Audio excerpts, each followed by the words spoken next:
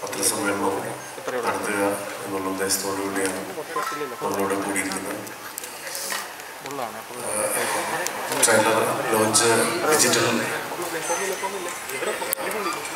പ്ലാറ്റ്ഫോമിലൂടെ release ചെയ്യുന്നത് Mammootty sir Mohanlal സാറിന്റെ പേജിലൂടെയാണ്. സിനിമയെക്കുറിച്ച്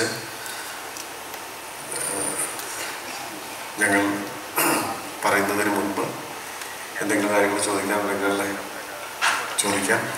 അതിനുശേഷം ട്രെയിലർ ലോഞ്ച് ഏഴര ആകുമ്പോൾ ട്രെയിലർ ലോഞ്ച് ചെയ്യാം.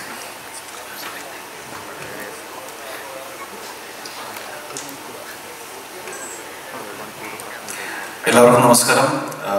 ഒരുപാട് നാളുകൾക്ക് ശേഷമാണ് ഒരു പ്രസ് മീറ്റിങ്ങിന് ഞാൻ പങ്കെടുക്കുന്നത്.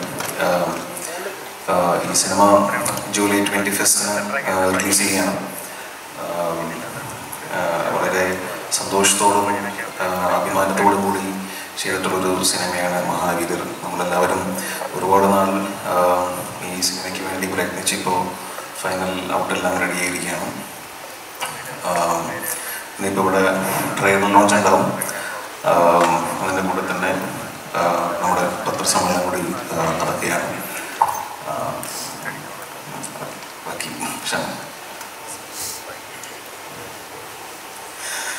നമസ്കാരം. ഈ കഴിഞ്ഞ ദിവസങ്ങളിലൊക്കെ നമ്മളായിട്ട് ഇന്ററാക്ട് ചെയ്യുന്ന സമയത്ത് എല്ലാവരും വളരെ ആകാംക്ഷയോടെ ചോദിച്ചിരുന്നത് മഹാവീരന്റെ വിശേഷങ്ങളാണ്. ഇതിന്റെ അപ്ഡേറ്റ്സിനെ കുറിച്ചായിരുന്നു. അപ്പോൾ ഫൈനലി ഇത് സംഭവിക്കുകയാണ്. ഇരുപത്തി ഒന്നാം തീയതി റിലീസാണ് അതിനു മുന്നേ ട്രെയിലർ ലോഞ്ച് ആണെന്ന്. അപ്പോൾ നമ്മുടെ ക്ഷണം സ്വീകരിച്ച് ഇവിടെ എത്തിയ എല്ലാവർക്കും നന്ദി. എനിക്ക് തോന്നുന്നു നമ്മുടെ കാസ്റ്റ് ആൻഡ് ക്രൂ ഓൾമോസ്റ്റ് എല്ലാവരും തന്നെ ഇവിടെയുണ്ട്. അപ്പം ഈ സിനിമയെ കുറിച്ച് നിങ്ങൾക്ക് കൂടുതൽ ചോദിച്ചറിയാൻ എന്തെങ്കിലും ഉണ്ടെങ്കിൽ ഈ ഒരു അവസരത്തിൽ ചോദിക്കാം. തീർച്ചയായിട്ടും ഇങ്ങനൊരു സിനിമ നമ്മൾ ആഗ്രഹിക്കുന്ന ലെവലിലേക്ക് എത്തണമെങ്കിൽ നിങ്ങളുടെ സപ്പോർട്ട് വേണം. ഇപ്പം നമ്മൾ ആഗ്രഹിക്കുന്നത് മലയാളത്തിൽ നിന്ന് ഇത്തരത്തിലൊരു സിനിമ റിലീസിനോട് റിലീസാവുമ്പോൾ അത് ഈ ഇന്ത്യ മുഴുവനുള്ള ആളുകളിലേക്ക് എത്തിക്കുക അല്ലെങ്കിൽ നമ്മുടെ മലയാള സിനിമ എത്രത്തോളം പുതുമയുള്ള പ്രമേയങ്ങളാണ് സിനിമയാക്കാൻ ശ്രമിക്കുന്നത് എന്നുള്ളത് മാക്സിമം റീച്ച് കിട്ടുക എന്നുള്ളതാണ്. അപ്പോൾ അതിന് തീർച്ചയായിട്ടും നിങ്ങളുടെ സപ്പോർട്ട് വേണം. ഓക്കെ ഇവിടെ കൂടിയിരിക്കുന്ന എല്ലാവരെയും ഒന്ന് പറയാൻ പരിചയമില്ലാത്ത ആളുകളുണ്ടാവും. ചന്ദ്രു ഞങ്ങളുടെ ക്യാമറമാനാണ്. ചന്ദ്രു ചന്ദ്രു കഴിഞ്ഞ വർഷത്തെ സ്റ്റേറ്റ് അവാർഡ് വിന്നറാണ്. ബേബിച്ചേട്ടൻ ചീഫ് അസോസിയേറ്റ് ഡയറക്ടറാണ്. ബേബിച്ചേട്ടൻ വളരെ വർഷങ്ങളായിട്ട് സിനിമയിലുണ്ട്. എന്റെ nineteen ninety three action hero ബിജുവിനൊക്കെ associate ആയിരുന്ന ആളാണ് ബേബിച്ചേട്ടൻ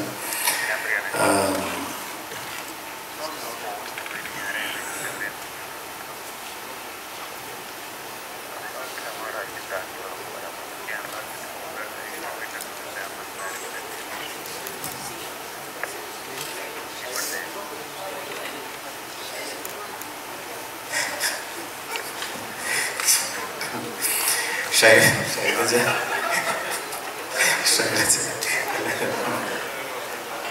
ശൈലജ ഞാൻ ശൈലജയുടെ ഷോർട്ട് ഫിലിം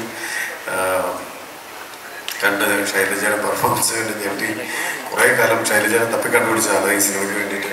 അപ്പോഴേക്കും നമ്മുടെ സിനിമ റിലീസിന് മുൻപ് ശൈലജയെ അന്വേഷിച്ച് കണ്ടുപിടിച്ചെങ്കിലും പക്ഷേ സിനിമ ഷൂട്ട് തുടങ്ങുമ്പോഴേക്കും ശൈലജയുടെ കുറേ സിനിമകൾ പുറത്തു വന്നു. കൃഷ്ണപ്രസാദ്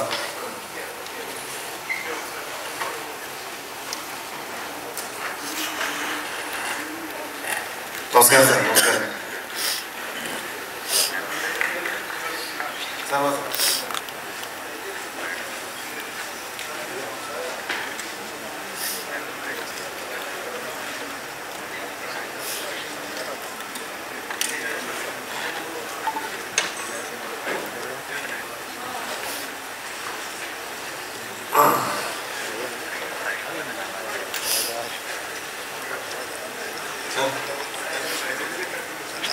സാർ വാ സാർ. ലാലു അലക്സ് സാർ വളരെ ചിട്ടയുള്ള ഒരാളാണ് നമ്മൾ പത്ത് മണി എന്ന് പറഞ്ഞാൽ പത്ത് മണി ആറര എന്ന് പറഞ്ഞാൽ ആറര. അപ്പോൾ സാർ സാറിനോട് ആറര എന്ന് പറഞ്ഞ പ്രസ് മീറ്റ് തുടങ്ങുന്ന ടൈമായിരുന്നു പക്ഷേ സാർ ഇറങ്ങേണ്ട ടൈം ആറര എന്ന് സാറിന് മനസ്സിലായത് അല്ലേ? അപ്പോൾ കറക്റ്റ് അതിനല്ലാതെ അപ്പുറം ഒരു ഒരു മിനിറ്റ് അങ്ങോട്ടും ഇങ്ങോട്ടും മാറിയിട്ടില്ല. മാറിയല്ല ഒരിക്കലും മാറില്ല അതുപോലെ കൃഷ്ണപ്രസാദ് മേജർ സാറിനെ പരിചയപ്പെടുത്തേണ്ട കാര്യമില്ല. ഷാൻവി ശ്രീവാസ്തവ. ഷംനാസ് സിനിമയുടെ പ്രൊഡ്യൂസറാണ്. ഷംനാസ് ഇറങ്ങിയ ആൾക്കാരുണ്ട് ഇവിടെ. ആസിഫ് അലി പൊളി ലാലു ലക് സാർ ചന്ദ്രകാന്ത് നമ്മുടെ കോസ്റ്റ്യൂമറാണ് കോസ്റ്റ്യൂം ഡിസൈനറാണ്. അദ്ദേഹം സജലി ലബൻ സാറിയുടെ സിനിമകൾ ഒരുപാട് സിനിമകൾ ചെയ്തിട്ടുള്ള കോസ്റ്റ്യൂം ഡിസൈനറാണ്. ഇഷാൻ ചാബ്ര ഇഷാൻ മ്യൂസിക് ഡയറക്ടറാണ് നമ്മുടെ. വർഷങ്ങൾ ഏകദേശം പത്ത് വർഷങ്ങളോളം എ ആർ റഹ്മാൻ സാറിന്റെ കൂടെയായിരുന്നു എ ആർ റഹ്മാൻ സാറിനും അനിരുദ്ധിന്റെ ഒക്കെ കൂടെ വർക്ക് ചെയ്യുന്ന പ്രോഗ്രാമറായിരുന്നു ഒരു കൊണ്ട് ബോയാണ് പ്രമോദ് വിളിയിലാണ്. പ്രജോത് കലാമോഹൻ പത്മരാജൻ രതീഷ് മെൽവിൻ. മെൽവിന് നമ്മുടെ കോസ്റ്റ്യൂമർ കോസ്റ്റ്യൂമറാണ് ഈ ഈ വർഷത്തെ സ്റ്റേറ്റ് അവാർഡ് വിന്നറാണ് ഇത്രയും പേരാണ് ഇവിടെ എത്തിയിട്ടുള്ളത്. Hello sir. ഞങ്ങൾ കുറെ സംസാരിച്ചു കഴിഞ്ഞു. സാറിന് വെയിറ്റ് ചെയ്യായിരുന്നു. എല്ലാവർക്കും എന്റെ നമസ്കാരം. ഗുഡ് ഈവനിങ് ഗുഡ് ഈവനിങ്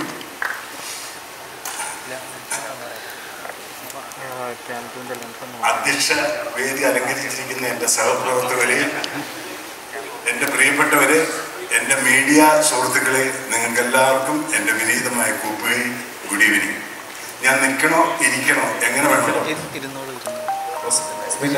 അതെ. എന്നാൽ ഇത് കഴിഞ്ഞ് ഇനിയുണ്ടല്ലേ ഹസ്ബൻഡിന്റെ ചോദ്യം ചോദിക്കും. സാറിനോട്. സാറാണ് അവരുടെ ടാർജറ്റ്. എന്റെ ഡയറക്ടർ ഇരിക്കുന്നു എന്റെ ഹീറോമാരിരിക്കുന്നു എന്റെ റൈറ്റർ ഇരിക്കുന്നു എന്റെ പ്രൊഡ്യൂസർ ഇരിക്കുന്നു. ഇതിൽ എളിയവനായ എന്നോട് നിങ്ങൾക്ക് എന്താണ് ചോദിക്കാനുള്ളത്? ചോദിച്ചോളൂ. ഹായ് ഇവിടെ ഇവിടെ എന്റെ പേര് ഷമ്യ എന്നാണ് ആൻഡ് ഫ്രം അനക്ടോട്ട് മീഡിയ ഈ ഒരു ആ, സംവിധായകനോടാണ് തോന്നി മഹാവീരൻ എന്ന് പറഞ്ഞ മൂവി ഒരു ഫാന്റസി പ്ലസ് ടൈം ട്രാവലർ ആണെന്ന് കേട്ടു. എന്നാണ് അത്തരത്തിലൊരു സിനിമ സംവിധാനം ചെയ്യേണ്ട ഒരു പ്രചോദനം.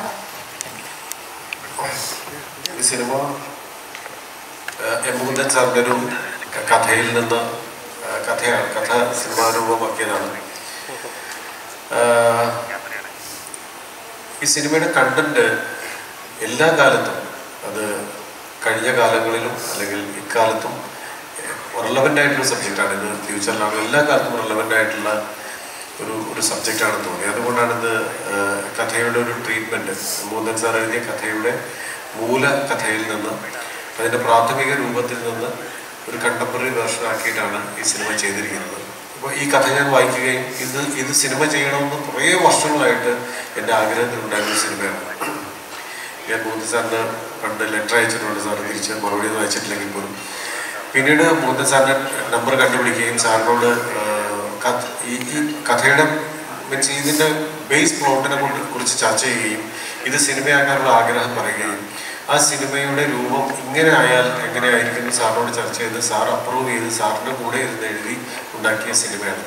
അപ്പോൾ ഈ സിനിമയുടെ വിഷയം അത് ഏത് കാലങ്ങളിലും പ്രസക്തമായ ഒന്നായതുകൊണ്ടാണ് അത് ട്രൈ ടൈം ട്രാവലുമായി കണക്ട് ചെയ്തത്. പഴയ കാലവും ഇന്നത്തെ കാലവും നാളത്തെയും എല്ലാ എക്കാലത്തും റെലവന്റ് ആകുന്ന ഒരു സബ്ജക്റ്റ് ആയതുകൊണ്ടാണ് അതിന് ടൈം ട്രാവൽ എന്ന് പറയുന്നൊരു ഒരു ഒരു കോൺസെപ്റ്റ് വന്നത്. അത് അത് അതൊരു മിക്സാണ് അതൊരു ഇതൊരു കോർട്ട് റൂം ഡ്രാമ കൂടിയാണ്. കോർട്ട് റൂം ഫാന്റസി എന്ന് പറയാം. ഞങ്ങൾ സിനിമ ഷൂട്ട് ചെയ്ത് എഡിറ്റ് എല്ലാം ചെയ്ത് കഴിഞ്ഞപ്പോൾ മനോജും ഞങ്ങളുടെ എഡിറ്റർ മനോജും എല്ലാവരും കൂടെ ഞങ്ങൾ ചർച്ച ചെയ്തതാണ് അപ്പോൾ ഈ ഈ സിനിമയുടെ എന്താണ് ഇതിന്റെ ജോണർ എന്ന് പറയണമെങ്കിൽ അത് കോർട്ട് റൂം ഫാന്റസി എന്ന് പറയാം. ഒരു കോർട്ട് റൂം സിനിമയാണ്. അതിനപ്പുറം കുറേ കാര്യങ്ങളുണ്ട്. അതെനിക്ക് പറഞ്ഞ് മനസ്സിലാക്കാനോ പറഞ്ഞ് തരാനോ പറ്റുന്നില്ല. പക്ഷേ സിനിമ കണ്ടാൽ ഒരു പക്ഷേ നിങ്ങൾക്ക് മനസ്സിലാവും എന്താണ് സിനിമകൾ നമ്മൾ പറയാൻ ഉദ്ദേശിക്കുന്നത്. ഹായ് സാർ എന്റെ പേര് ലിറ്റ്വിൻ ഞാൻ ഫ്രം സെല്ലി മോംസ് സാർ എന്റെ ക്വസ്റ്റൻ എന്താ വെച്ചാൽ ഇപ്പം അതിൽ രണ്ട് ഹീറോസ് ഉണ്ട്. മീൻ നോട്ട് ഹീറോസ് ആക്ച്വലി രണ്ടുപേരും സെലിബ്രേറ്റഡ് ആർട്ടിസ്റ്റ് ആണ് മലയാള സിനിമയിൽ അപ്പോൾ ഇവരുടെ ഒരു ബാലൻസ് എങ്ങനെയാണ് മെയിന്റെയിൻ ചെയ്തത്? ബിക്കോസ് ഒരാൾ അല്ലെങ്കിൽ ഇസ് ഇറ്റ് അങ്ങനെയാണോ അതോ ലൈക്ക് ഒരാൾ ഹീറോയും ഒരാൾ ആന്റി ഹീറോ ആണോ എങ്ങനെയാണ് ആ ഒരു പ്ലേസ്മെന്റ് ആ ഒരു ബാലൻസ് എങ്ങനെ മെയിന്റെയിൻ ചെയ്തത്? ഈ സിനിമയുടെ കഥ ഞാൻ നിവിനോടാണ് ആദ്യം പറഞ്ഞത്. നിവിനോട് പറഞ്ഞിട്ട് ഞാനിത് നിവിനോട് ഇത് ഡബിൾ റോൾ ചെയ്യാനായിട്ട് നിവിൻ നിവിനോട് ഞാൻ ആവശ്യപ്പെട്ടു. ഈ രണ്ട് കഥ രണ്ട് കഥാപാത്രം ഒരേപോലെ ഇമ്പോർട്ടന്റ് ആയിട്ടുള്ള രണ്ട് കഥാപാത്രങ്ങളായതുകൊണ്ട് ഇത് നിവിൻ ഡബിൾ റോൾ ചെയ്താൽ നന്നായിരിക്കും ഞാൻ നിവിനോട് സജസ്റ്റ് ചെയ്തു. അപ്പം നിവിൻ പറഞ്ഞു അതല്ല ഇത് ഞാൻ ഒരു ക്യാരക്ടർ പ്ലേ ചെയ്യും മറ്റേ ക്യാരക്ടർ മറ്റൊരു ഹീറോ ആക്ടർ പ്ലേ ചെയ്യും അപ്പോൾ എന്നോട് നിവിൻ സജസ്റ്റ് ചെയ്തു. ആസിഫിനോട് പോയി പറയും. ഞാൻ പറഞ്ഞു ആസിഫ് ഒരുപാട് എനിക്കറിയാം. ഞാൻ ആസിഫ് ആ സമയത്ത് ഡോക്ടർ പോളിന്റെ എന്റെ സുഹൃത്താണ്. അദ്ദേഹത്തിന്റെ സിനിമ ചെയ്തുകൊണ്ടിരിക്കുകയാണ്.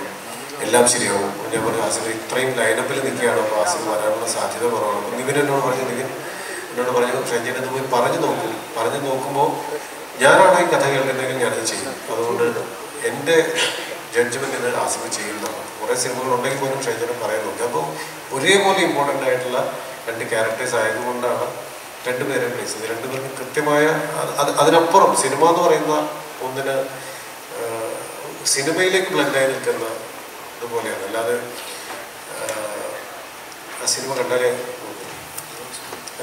അതെ. ആ സിനിമയിലൊരു സാധനമുണ്ട്. ഞാൻ പറഞ്ഞില്ലേ മോഹൻദൻ സാറിന് ഈ കണ്ടന്റിൽ ഒരു ഒരു സംഗതിയുണ്ട്. ഒരു ഐറ്റം ഉണ്ട്. അതായിരിക്കും സ്ട്രോങ് ആയിട്ട് നിൽക്കുക എന്നുള്ളതാണ് എനിക്ക് പറയാനുള്ളത്. ഒരുപക്ഷെ അതൊരു അതിനകത്ത് നിവിൻ പോളിയുടെ നിവിൻ ചെയ്ത ചെയ്യാത്തൊരു ഒരു ഒരു കഥാപാത്രമാണ്. നിവിനത് നല്ല രസമായിട്ട് ചെയ്തിട്ടുണ്ട്. തമാശയും ഒക്കെ ഉള്ളൊരു ഒരു കഥാപാത്രമാണ്. നല്ല വെയിറ്റ് ഉള്ള സബ്ജക്റ്റാണ് ആസിഫിനും അതുപോലെ തന്നെ വെയിറ്റ് ഉള്ള ഒരു ഒരു ക്യാരക്ടറാണ് രണ്ടു പേർക്കും രണ്ട് രീതിയിൽ നിൽക്കുന്ന തരത്തിലുള്ള ഒരു സിനിമയാണ് അതല്ലാതൊരു ഹീറോ ആന്റി ഹീറോ കോൺഫ്ലിക്റ്റ് അല്ലെങ്കിൽ അവർ തമ്മിലുള്ള മത്സരം അവർ തമ്മിലുള്ള വാശി അവർ തമ്മിലുള്ള യുദ്ധം ഫൈറ്റ് അങ്ങനെയൊന്നുമല്ല. ഈ സിനിമയുടെ കഥയിൽ രണ്ട് രണ്ട് രണ്ട് പ്ലേസ്മെന്റിലാണ് രണ്ടുപേരും നിൽക്കുന്നത്. അത് കറക്റ്റായിട്ടാണ് പോകുന്നത്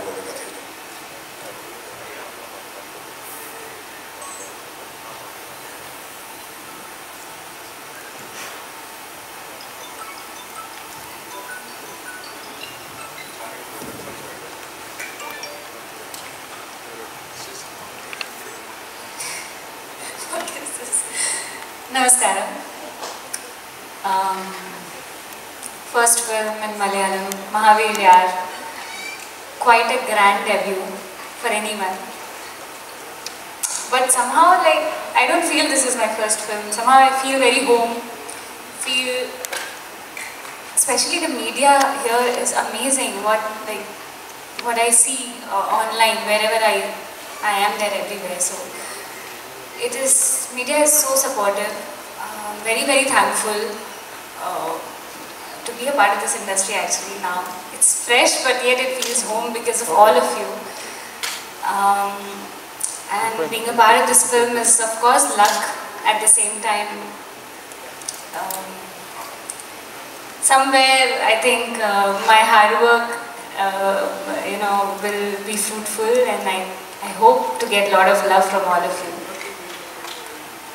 Something they are talking, I don't know. And why they gave me the mic, I also don't know. But it's okay, I'll talk. um, very, very happy to work with all the actors around here, all my co-actors. I've learned so much from everyone.